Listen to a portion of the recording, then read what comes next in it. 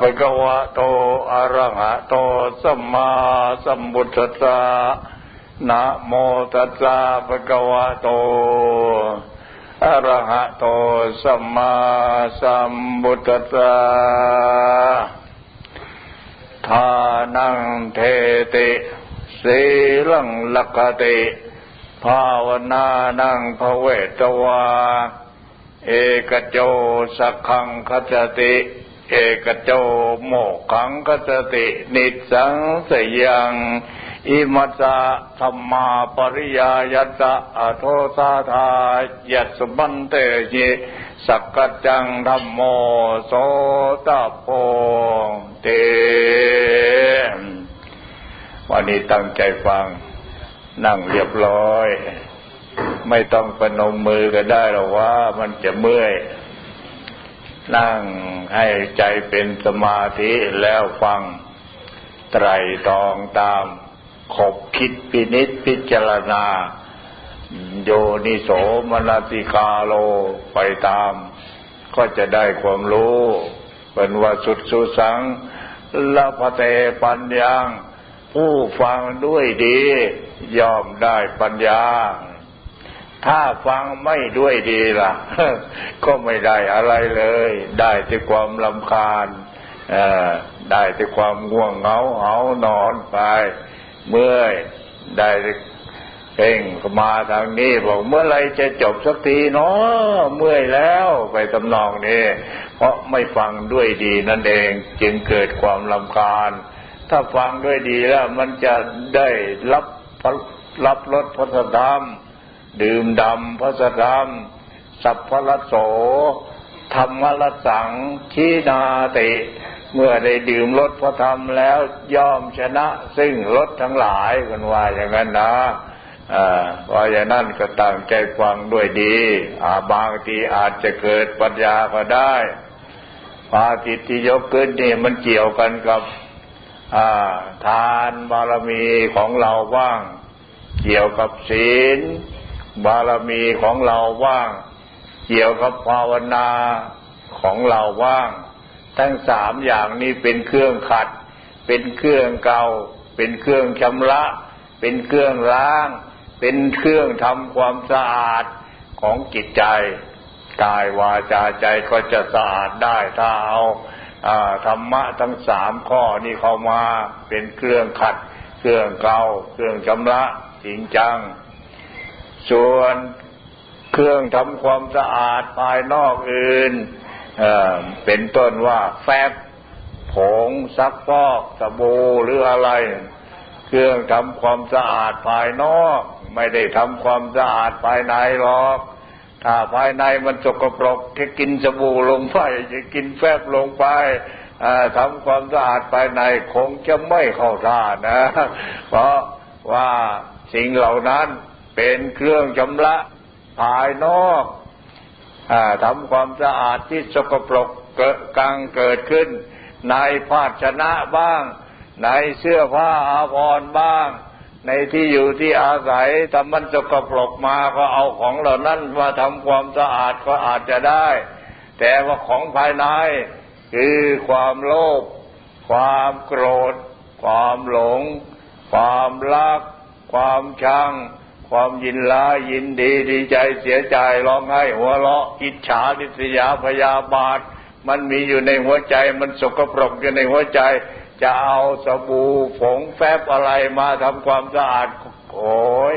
มันก็คงไม่ได้นะ มันไม่เข้ากันเพราะฉะนั้นเครื่องมืออันนี้พระพุทธเจ้าบัญญัติไว้ให้อ่าเป็นเครื่องชำระความสะอาด ภายในจิตใจให้ถึงความสะอาดบริสุทธิ์ได้สิ้นไปแห่งอาสวะได้ ถ้าเอาทานังเทติมาประพฤติปฏิบัติอยู่บ่อยๆความจะหนีทีเหนียวมันจะเบาลงไปทีละน้อยละน้อย ไม่หนาแน่นละไม่ถึงกับโลกโมโทสัน ไม่ถึงกับโคงบ้านโคงเมืองกันหรอก ถ้าทานังเทติอยู่เรื่อยๆกำจัดกิเลสได้ดีนักอันเนี้ยทานังเทติทานังเทติเนี่ยสมัยก่อนโน้นครั้งพุทธกาลโน้นมีผู้ยึดเอามาประพฤติปฏิบัติอย่างเคร่งครัดทีเดียวละอ่าเช่นอ่ามหาวชิกา นางวิสาขามหาวชิกาเป็นตัวอย่าง ยึดเอาทานังเทติมาประพฤติปฏิบัติไม่ขาดแต่ละวันเลยทำอยู่อย่างนั้นไม่มีความตนีทีเหนียวมาหัวเหนียวแน่นมาหวงแหนมากั้นกลางจิตใจได้เลยได้ทำวันหนึ่งวันหนึ่งสบายใจมากอิ่มอกอิ่มใจอยู่อย่างนั้น เพราะได้ไปทำแล้ว วันไหนไม่ได้ไปทำ ก็ตะกิดตะขวงใจอยู่อย่างนั้นละเนี่ยทานังเทติเมื่อบำเพ็ญให้เป็นนิสัยแล้ว ก็ติดสันดานได้ สามารถขัดเกลาความตนีทีเหนียวในหัวใจ ความเห็นแก่ตัวในหัวใจอาจจะหมดไปเลย คนที่เห็นแก่ตัวนี่ก็โลภโมโทสันนะที่มันเก็บคำกอบโคยโกงกิน ซึ่งกันและกันเพราะความโลภโมโทสันนั่นเอง ไม่กำจัดกิเลสด้วยทานังเทตินั่นเองท่นข้างพุทธการก็มีนางวิสาขามหาวชิกาเป็นตัวอย่างนะจำไว้นอกกว่านั้นก็มีอนาถบินดีเศรษฐีเป็นผู้ที่เสียสละจริง ๆ อย่างจังละ สร้างวัดเชตวันมหาวิหารถวายพระพุทธเจ้านายเชษนั่นเขาจะขายที่เอาเงินมาปูในสถานที่ทั่วหมดจังหวัดจึงจะขายให้ ถ้าไม่มีเงินถึงขนาดนั้นอย่ามาซื้อเลยอาณาธวิดีเศรษฐีก็โอเค โอเคจะเอาเท่าไร เอาเงินเป็นเป็นเหรียญสมัยก่อน เป็นเหรียญเป็นเหรียญเรามาปูปูปูปูในบริเวณวัดเขตวันนะอ่า จนเต็มบริเวณวัด แล้วก็ให้นายเชษจะมารับเอาไปเงินทั้งหมดเนี่ย ดินเป็นของข้าพเจ้า ข้าพเจ้าจะสร้างมหาวิหารสร้างวัดวารามถวายพระบรมศาสดานายเชษก็รวยไปแต่ว่าขอ อขอฝากชื่อด้วยเด้อขอฝากชื่อไว้ในวัดนี่ไว้บ้างเด้อนะถึงเอาเงินไปแล้วยังมาขอฝากชื่อกับเขาอยู่นี่คนขี้โลภอีกแล้วนี่ก็ได้จึงว่าเคตวันเนอนาถบินดีอารามเมนะบินดีกตะอารามเมนะขอฝากเคตวันไว้ นายเชษชื่อคนที่ขายที่ให้นะ ขอฝากชื่อไว้จึงได้นามว่าสาวิถียังวิหารติ เคตวเนวิหารติอาณาถบินดีกัจจอารามเมเป็นอาอารามของอาณาถบินดีสร้างขึ้น นั่นนะที่บำเพ็ญกุศลครั้งแรกที่สุดในครั้งพุทธกาลก็ไม่มีมากเราลายก็มีนายเชษกับอาณาถบินดี นี่เป็นตัวอย่าง แล้วก็นางวิสาขามหาวชิกานั้นก็สร้างวัดด้านถวายพระพุทธเจ้าเหมือนกันละที่เมืองกรุงกบิลพัทนะแน่มันมีหลายๆคนอยู่คนต้องการต้องการ เพราะฉะนั้นการทำทานทานังเทติ มันมีประโยชน์มาก สามารถขัดเกลาจิตใจ ที่มีความตรีเหนียวแน่นเหนียวแน่น หวงแหนผูกมัดรัดลึกหวงเอาจนไม่เก็บไม่จ่ายอะไรเลยหวงมากๆ ถ้าหวงมากๆแล้ว ความโลภโมโทสัน มันก็ใหญ่โตขึ้น มันไม่เบาไม่บางไปได้นะจนถึงกับโลภเอาบ้านเอาเมืองของกันและกันก็ได้ โลภเอาทรัพย์สินเงินทองของกันและกันโลภเอาไร่ เอานา เอาหัวเอาสวน เอาทรัพย์สมบัติของผู้อื่นเลิกเอาโดยตรงไม่ได้ ก็เอาทางอ้อม เอาทางอ้อมไม่ได้ก็พยายามจะเอาโดยตรงเลย จนไปกี้กัน เอาเงินกัน จนไปปล้นกัน เอาเงินกัน มันรู้อำนาจแจกความโลภใช่หรือเปล่า เออแน่มันเป็นของน่าเกลียดน่ากลัวมาก ความโลภตัวนั้นเป็นของน่าเกลียดน่ากลัว ถ้าเกิดกับผัว เมียก็คงไม่ชอบ ถ้าเกิดจับกับเมีย ผัวก็คงไม่ชอบ ถ้าเกิดกับพ่อกับแม่ ลูกเต้าทั้งหลาย ที่หวังพึ่งวาอาศัยก็อาจจะไม่ชอบเหมือนกัน ถ้าเกิดกับญาติพี่น้องทั้งหลาย ถ้าเอาความตนีทีเหนียวไปใช้กันแล้ว คงจะไม่ชอบกันทั้งนั้นละทำให้แตกกันได้ให้แยกกันได้เจ้านายแต่ดีทีเหนียวมากเกินไป บริวารก็ตีตัวออกห่าง ไม่อยากเข้าช่วยงานช่วยการนะถ้ามีครับเพื่อนกันจะหายกันเขาอาจจะกินแหนงแกงใจกันคนโลภโมโทสันทะเลาะกันเพราะความโลภอย่างนี้ก็มี สมัยก่อนโน้นเขายกพญานาคพญานาคเป็นตัวอย่างสองนาคสองมหานาคนั่นใจกันทั้งสองกันละแต่แต่ก่อนนะยกเอาตัวนาคเป็นตัวอย่างพญานาคอยู่น้องก็แสแสนทางบุญละน้องก็แสแสนทางโนั่นน่ะ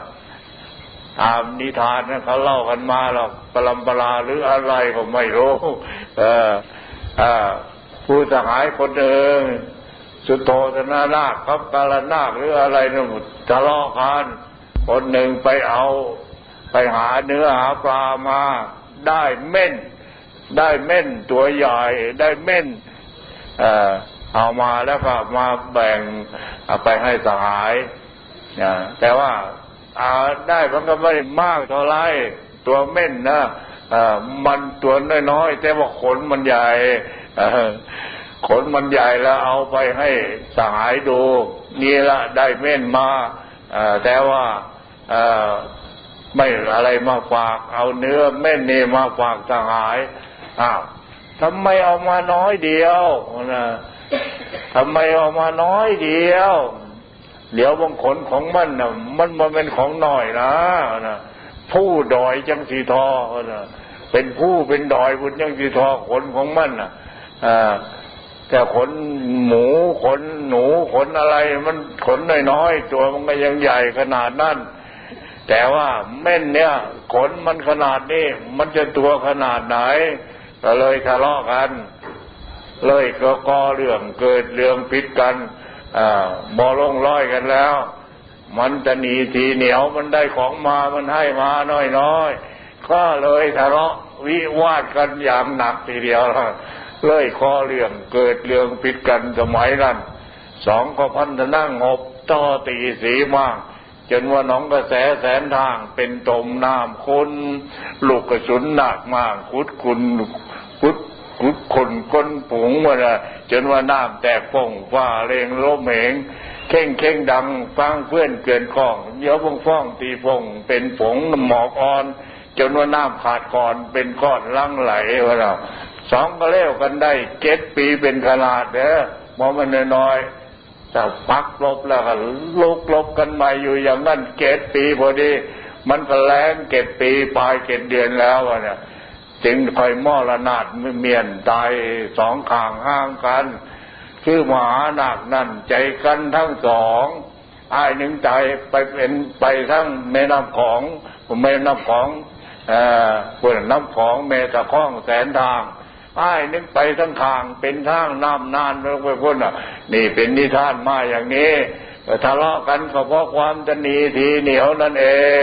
เกิดลุกลบกันอยู่ทุกวันนี้ เอาน้ำโขง กับนั่นน้ำน่านไปใส่ขวดเดียวระเบิดกันเลยนะตมเลยนะมันยังทะเลาะกันอยู่เท่าทุกวันนี่นะเอาน้ำโขงกับน้ำน่านไปใส่ในองค์เดียวกัน ขวดเดียวกันทะเลาะกันอยู่อย่างนั้นละเราเปิดแตกเลยขวดนั่นเป็นอย่างนี้เขาเล่ากันต่อมา เราก็ตัวอีกต่อไป ตัวให้ฟังอีกต่อไปแท้จริงประการใดไปทดสอบเอาเองนะเพราะอย่างนั้น การชำระจิตชำระใจด้วยการทำทานนี้ จึงเป็นสิ่งจำเป็นมาก เพราะไม่มีใครชอบบริวารของเรา เขาก็ไม่ชอบ ถ้าเราเป็นหัวหน้าบริหารงานอยู่ลูกน้องทั้งหลายถ้าเจ้านายหรือหัวหน้าผู้จ้างผู้วานมาจะหนีทีเหนียว ไม่เผื่อไม่แผ่ แล้วบริวารทั้งหลายก็ตีตัวออกห่าง ไม่อยากใกล้แล้ว ไม่อยากมารับใช้แล้ว แม้ลูกเขยก็อาจจะไม่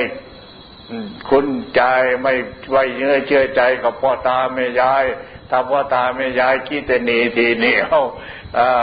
สามีภรรยาก็ยิ่งเห็นกันได้ชัด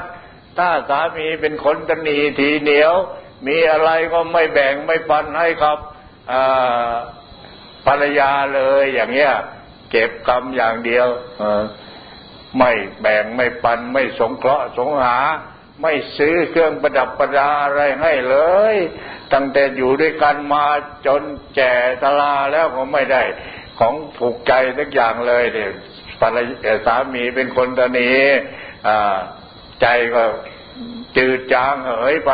ถึงรักกันมาก ๆ ก็อาจจะจืดจางเหยไป ถ้าภรรยาจะหนีทีเดียว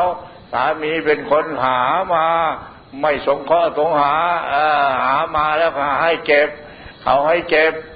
แต่ภรรยาไม่ได้เคยส่งคืนให้สามีเลย เก็บหายเงียบ ถามหาว่าหมดแล้วอะไรทำนองนี้ มันจะเป็นยังไงอะไรจะเกิดขึ้น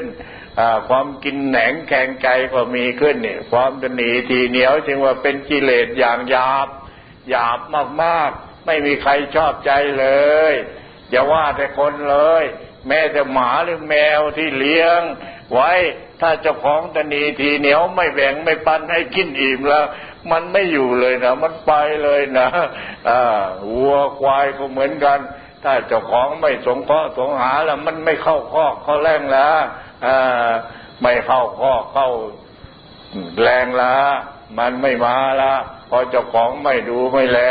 ให้อิ่มน้ำทำลาน มีเฟืองก็ไม่ให้กิน มีหญ้าก็ไม่เอามาให้กินทั้งทีเลย ไม่รู้จะไปทำไมไปบ้านทำไมหนีเตลิดเปิดเปิงไปหากินตามป่าตามอะไรไปก็ดี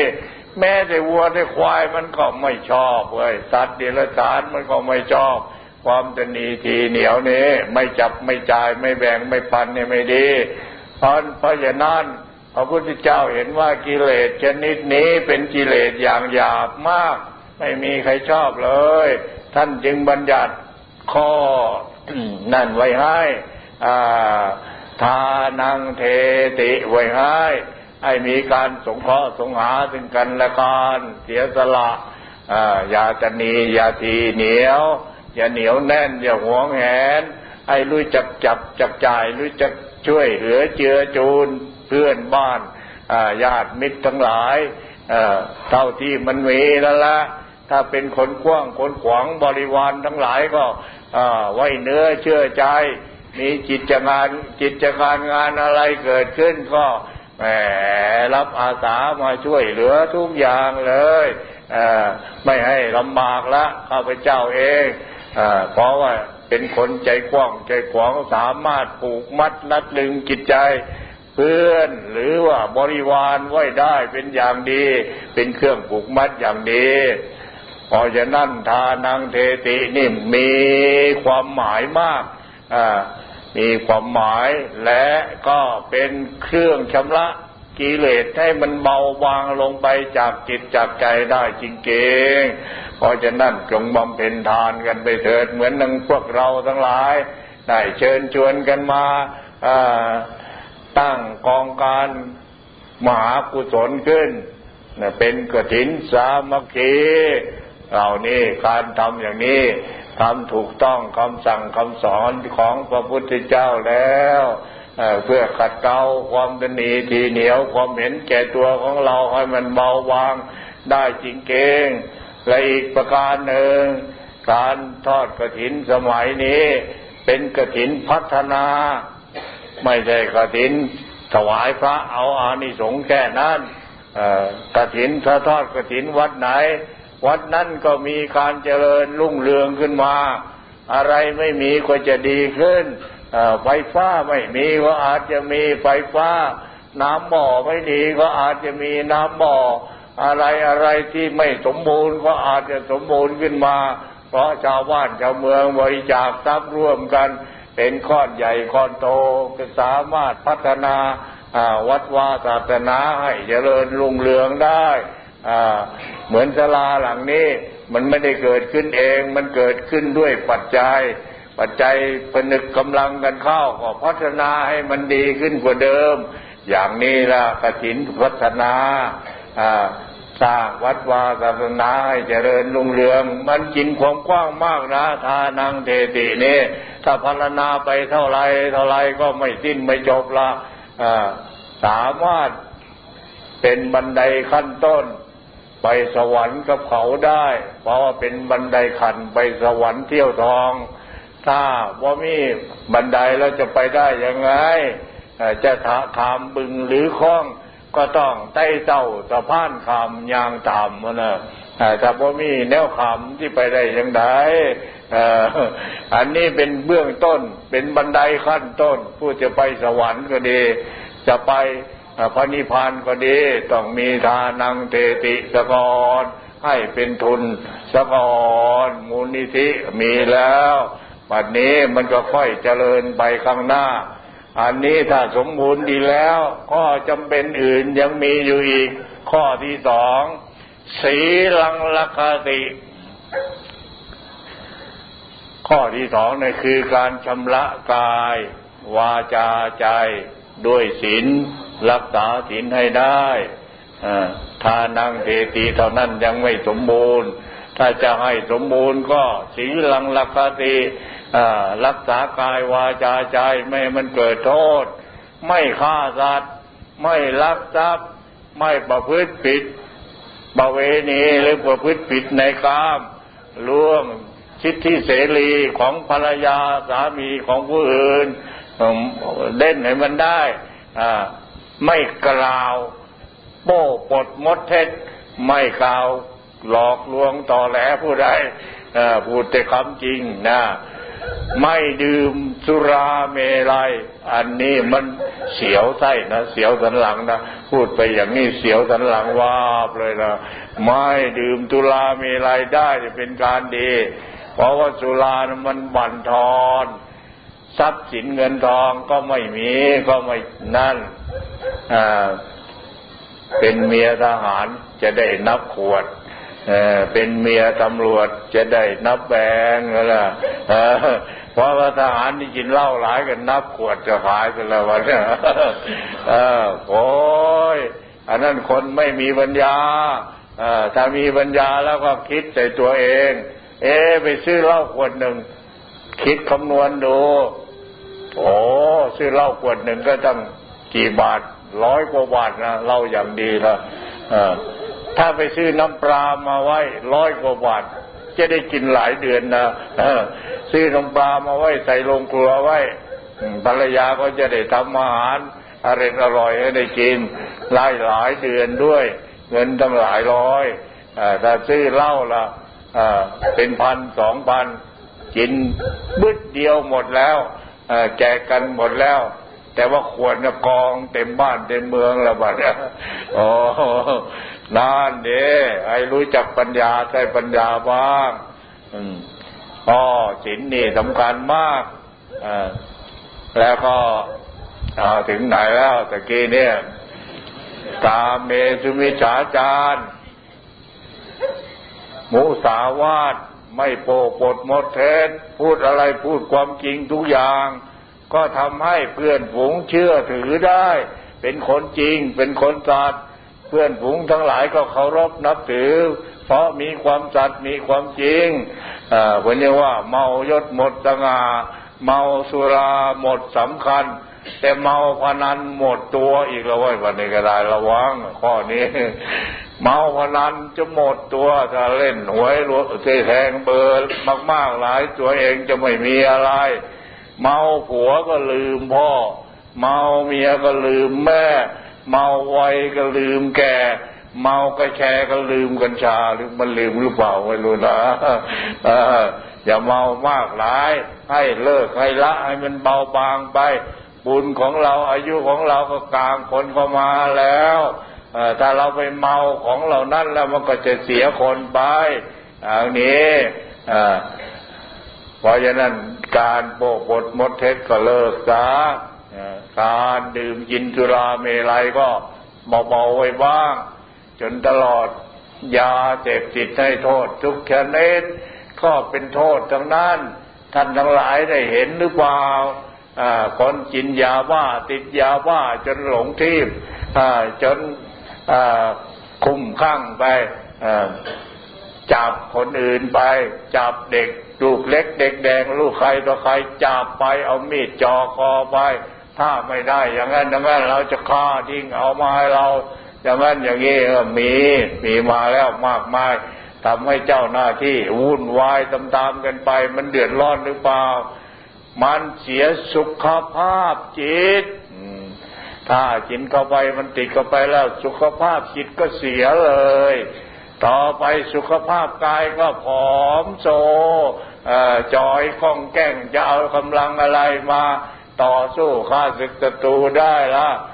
สมมติว่ามันทะลักเข้าไปในทหารตำรวจ ใครจะรับผิดชอบบ้านเมืองล่ะไม่ดีเลยทหารทั้งกรมทั้งกองติดยาบ้ายาเบอร์กันหมดทำนองนี้ใครจะรับผิดชอบอความมั่นคงของชาติต่อไปล่ะตำรวจก็เหมือนกันทหารตำรวจที่สำคัญมาก ประชาชนฝากความไว้เนื้อเชื่อใจไว้กับทหาร ถ้าทหารยังไปติดยาเสพติดให้โทษกินเหล้าเมาไม้หรืออะไรอีก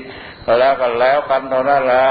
จนเกิดเป็นโทษแก่ตัวเองเกิดโรคเกิดภัยขึ้นมามากมาย สุขภาพจิตก็เสียสุขภาพกายก็เสียใครจะรับผิดชอบ ความมั่นคงของบ้านเมืองต่อไปล่ะ มันไม่ใช่ของดีไม่น่าส่งเสริมเลยนะ อยากจะพูดให้ฟังชัดๆเกิเกิน ผู้ที่จัดการปรุงยาบ้าขึ้นมามอมเมาคนไทยนั่นเขาไม่ปรารถนาดีต่อเมืองไทย เมืองไทยนั่นทำยังไงก็ไม่แตกแต่ก่อนจัดการขอการร้ายขึ้นทุกมุมเมือง ทุกผลทุกแห่งก็มีวิธีปราบปรามกัน ปราบปรามด้วยศาสตราอาวุธก็ไม่สงบมานี่ปราบปรามด้วยโครงการการุญยเทพขึ้น อ้าแขนรับที่น้องผู้หลงผิดทั้งหลาย พวกเราในกำลังหลงผิดมาก เพราะฉะนั้นกลับเนื้อกับตัวมามอบตัวซะมาช่วยกันพัฒนาเมืองไทยเราเถอะ เมืองไทยเรายังไม่เจริญให้มาช่วยกันพัฒนาเมืองไทยพวกเราก็เลิกกันแล้ว ไม่ใช่ตัตราอาวุธจะอย่างใดเลย เลิกกันจริงๆมอบหมายถ้าตกลงแล้วก็นัดหมายที่มอบหมายกันที่นั่นที่นั่นจะไม่ใช้สัตราอาวุธประหัตประหารกันอีกแล้วเพราะเราคนไทยด้วยกันโฆษณาทางโครงการการุญยเทพเข้า วกผู้ก่อการร้ายทั้งหลายอยู่ในป่าก็เห็นด้วย เห็นด้วยกับนัดหมาย ให้ไปมอบที่ไหนไปมอบที่ไหนนัดหมายกันเรียบร้อยกันไหลกันออกมาจากป่านำจัตราอาวุธมามอบมามอบอมอบตนมอบตัวด้วย จะเอาไปกักไปขังทางไหนก็ตามใจแต่สัตราอาวุธทั้งหลายยกให้ไปไม่ได้ลุกลบไม่ตายกันด้วยการปราบปราม ผู้ก่อการร้ายเลยสงบไปทั่วทุกภาคสงบแล้วเรียบร้อยบัดนี้มันสงบลงอย่างนี้แล้ว พวกผู้ต้องการอยากจะได้เมืองไทยไปเป็นเมืองขึ้นเขาเขาก็เสียใจมากว่าเนี่ยอ๋อเราตั้งใจจะล้มประเทศไทยด้วยการก่อการร้าย แต่เขามีโครงการอย่างหนึ่งมาทำให้ผู้ก่อการร้ายเขามอบตัวกันหมด ทำลองนี่เอาอยัางไงดี เอาอย่างนี้กันแล้วพันปรุงยาขึ้น เราไปขายธรรมดาเนี่ละปรุงยาขึ้น มันเป็นยารุนแรงมากแต่เขากินเขาแล้วก็มันขยันจริงๆละเบื้องต้น เป็นยาขยันทำงานทำการเก่งยาม้ามันกระตุ้นประสาทให้ขยันไม่หลับไม่นอนหน้ามั่งหน้ามีจริงๆ แต่ว่านานๆเข้ามันทำลายระบบประสาท ไปในตัวทำให้ประสาทเสื่อมสุขภาพจิตก็เสีย สุขภาพกายก็โทรมทำนองนี้ว่าถ้าทะลักเข้าไปในกรมทหาร ทหารก็หมดกำลังทหารทะลักเข้าไปทางตำรวจตำรวจก็หมดกำลังอาสาสมัครใดๆจะไปติดยาเสพติดให้โทษแล้วก็หมดประสิทธิภาพแล้ว ใครจะรับผิดชอบบ้านเมืองต่อไปอย่างนี้ เขาเห็นอย่างนี้เขาจึงปรุงยาเข้ามาส่งเข้ามาเรื่อยๆ มามอมเมาคนไทยเรา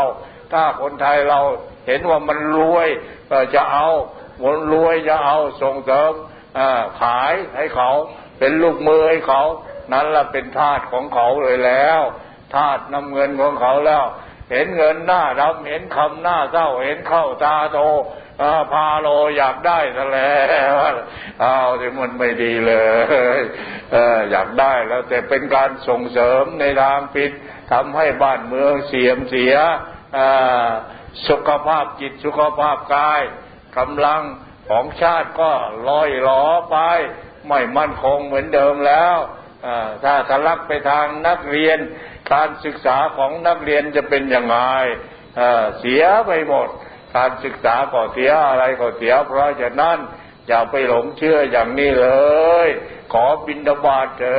ะขอฝากพี่น้องทั้งหลายช่วยกันป้องกันจริง ๆ จังๆกันเถอะถ้าไม่รู้อำนาจแจกความอยากและกิเลสแล้ว ต้องปราบไม่ได้ทีเดียวละไม่ส่งเสริม มีที่ไหนที่ไหน จับได้แล้วเอาไปเผาทิ้งได้หมดอย่าให้มันทะลักเข้ามา ใครจะมีเงินมาปรุงมาจังเท่าไรอะอ่าพอจับได้แล้วไปเผาทิ้งหมดทิ้งหมดไม่ให้มี มาขายในเมืองไทยแล้วก็ชื่อว่าป้องกันยาเสพติดให้โทษได้ดีมากดังนี้พูดเรื่องตุราเมลัยนี่มันก็กว้างขวางออกไป ถึงยาเสพติดให้โทษดังกล่าวมานี่เองพอมันเป็นโทษจริงๆ เราก็เห็นกันอยู่จงจ้องโฆษณากันทางโทรทัศน์ ทางวิทยุทางอะไรออกกันให้ฟังอยู่เสมอเสมอ มันเป็นโทษถึงกับพ่อฆ่าลูกลูกฆ่าพ่อฆ่าแม่ฆ่าพี่ฆ่าน้องจับลูกหลานทั้งหลายไปเรียกค่าไถ่หรือว่าไปประกันเอามีดจ่อคอไปถ้าไม่ให้สมปรารถนาก็ฆ่าทิ้งยิงทิ้งแทงทิ้งจ้าแต่ทำลองนี่มันรุนแรงขนาดไหน โอ้ยทำอย่างนี้หรือผู้ที่จะรับผิดชอบความมั่นคงของบ้านเมืองอจึงน่าสลดดสังเวชมากทีเดียว เขาก็ยิ้มดิผู้เขาปรุงยามาเห็นคนไทยทำอย่างนี้เขาก็ยิ้มพอใจตกตีนตกมือละพออกพอใจมันได้แล้วพวกเราได้แล้วได้ ได้ทีแล้วถ้าคนไทยเป็นอย่างนี้กันหมดแล้วก็พวกเราหวานเลย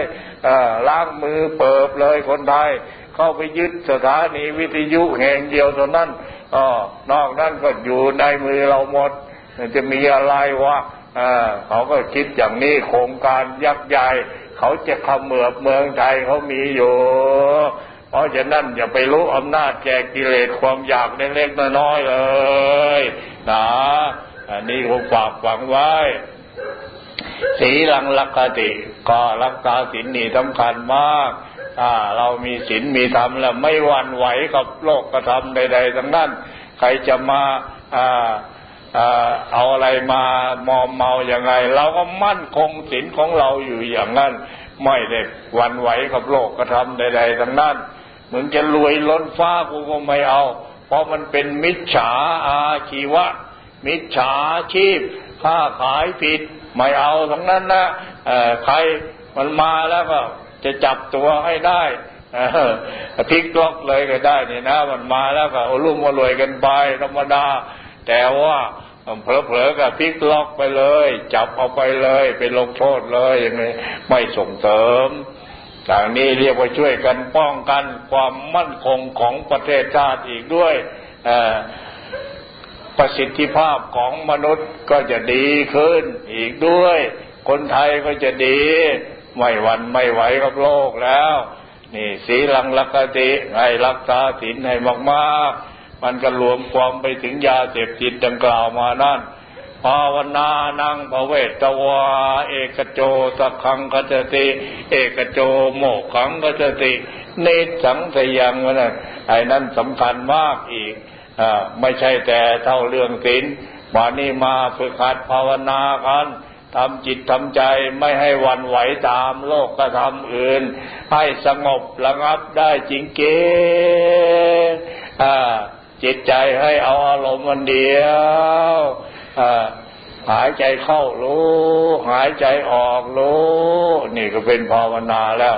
หรือว่าพิจารณาความตาย เพียพิจารณาความตายบ่อยๆ เราก็จะได้กลัวต่อความตายบ้าง พิจารณาเรื่องสังขารไม่เที่ยงบ้าง ทุกขังอนิจจังอนัตตาก็ชัดแจ้งขึ้นมา